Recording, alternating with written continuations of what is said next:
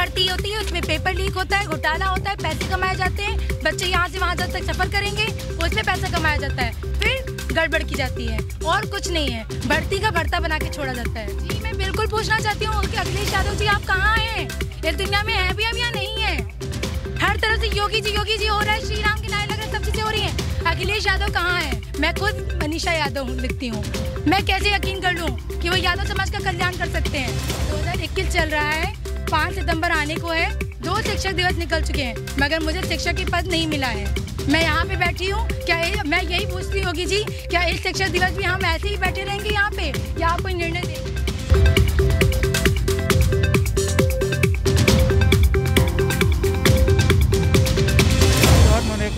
चली है कि ये जो आप लोग की शिक्षक भर्ती आती है ये बहुत कम आती है? मतलब कितनी हाँ, बार? बहुत बहुत ही कम आती है। पहले मतलब पिछली बार कब आई थी? ये जैसे ये ये मुझे लग रहा हैं। हमारा हमें 2011 में मौका मिला था या फिर हमें अब अब मिला है मौका? अच्छा 2011 में मिला है अब हाँ, या मिला है। नहीं मिला।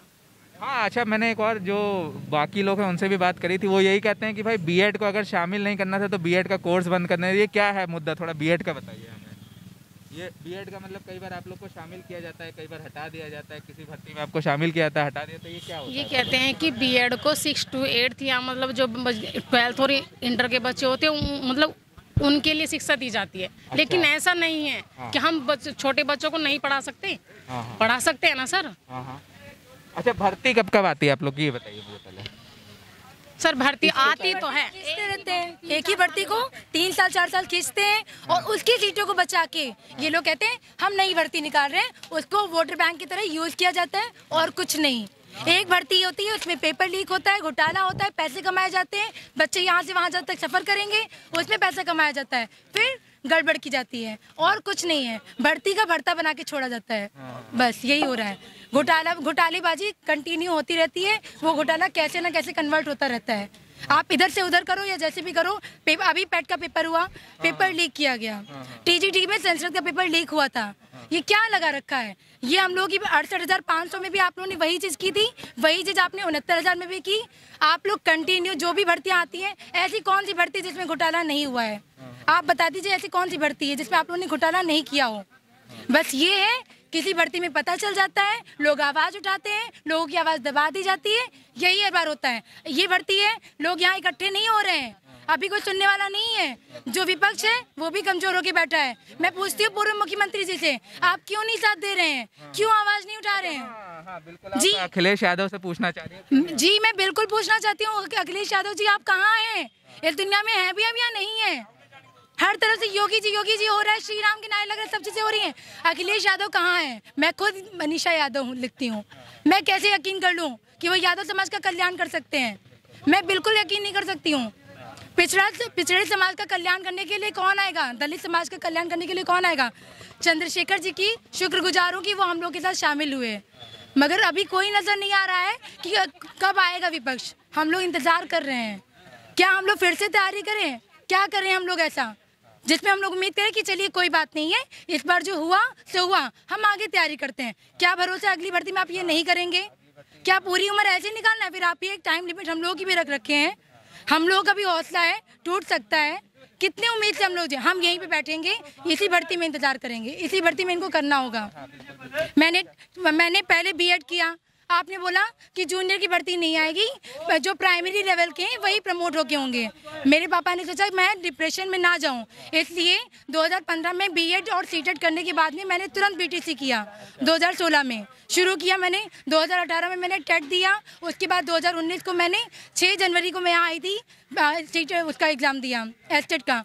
मुझे उस टाइम पूरी उम्मीद हो चुकी थी कि मेरा तय है, लेकिन आज 2021 चल रहा है, पाँच सितंबर आने को है दो शिक्षक दिवस निकल चुके हैं, मगर मुझे शिक्षक की पद नहीं मिला है।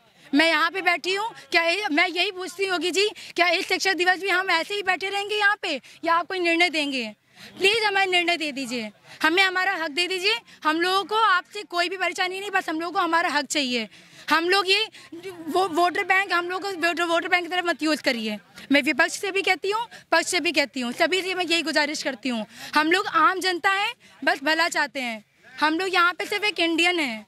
हम लोग किसी भी जातिवाद में नहीं फंसना चाहते हैं, बस हम लोगों का हमारा हक मत छीनिए, संविधान के साथ मत खेलिए। संविधान के साथ अगर सारे रूल सारे आर्टिकल वहाँ के सही हैं तो इसी के साथ खिलवाड़ क्यों हो रहा है? ये ट्वेंटी सेवन परसेंट जो है, हम लोगों का क्यों छीना जा रहा है? एक तो ऑलरेडी आप लोगों ने केवल ट्वेंटी सेवन परसेंट कर रखा है। आप भर्ती देखेंगे, निकलती है उसमें। अच्छा एक चीज़ और ओबीसी की जो जनगणना है, उसका भी मुद्दा इस बार उठा था कि जनगणना भी नहीं हो रही है है? जनगण, आप देखिए, आपने ये, अभी मैंने कुछ टाइम पहले, मैं बहुत ज़्यादा न्यूज़ वगैरह में नहीं हो पाता मेरा बट मैंने न्यूज़ में पढ़ा था कि आप ओबीसी में कुछ और जातियाँ ऐड करने वाले हैं। लेकिन क्या हाँ तो आप बताइए, आप जातियाँ ऐड करते जा रहे हैं। सवर्णों का तो उधर सही हो रहा है बट हम लोगों की जातियाँ बढ़ी लेकिन ट्वेंटी सेवन परसेंट का ट्वेंटी सेवन परसेंट भी नहीं देना चाहते हैं आप। वो भी आप छीन लेना चाहते हैं। तो ऐसे नहीं होता है। आपको याद, इसको, चलिए ठीक है इंक्रीज नहीं कर सकते, लेकिन जो जितना है उतना तो दीजिए, हमारी थाली से छीन के आप निकाल के दे रहे हो। ये मत करिए। अभी तक हम लोग को पता नहीं चलता था। अब हम लोग को पता चल रहा है तो आप हमारी आवाज़ दबा रहे हैं कि ऐसा कुछ नहीं हुआ है? नहीं, हुआ है। पॉइंट उठ रहा है तो उस पॉइंट को मानिए एक्सेप्ट करिए।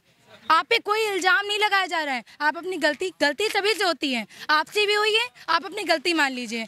आप ये सोच रहे हैं कि 2022 में लोगों को ये पता चल जाएगा कि आरक्षण घोटाला हुआ था, ये बातें आगे तक चलेंगी, ऐसा नहीं है। आप एग्ज़ाम्पल सेट करिए। जिनको पता है, सबको पता है। तो आप एग्ज़ाम्पल सेट करिए कि हाँ गलती हुई, हमने सुधारी। आप अपनी गलती सुधार लीजिए। लोग गलती भूल जाते हैं। ठीक है? आप अगर गलती नहीं सुधारेंगे तो ये बातें याद रखी जाएँगी। हम लोग जब आगे एज में पहुँचेंगे, तब भी ये कहेंगे, योगी सरकार में महा घोटाला हुआ था। जिसके लिए महा आंदोलन किया गया था। कुछ होगा? होगा। इस बार होगा। क्योंकि नकारात्मक उदाहरण नहीं पेश करना है। यहाँ आप कितने दिन बिठा लेंगे?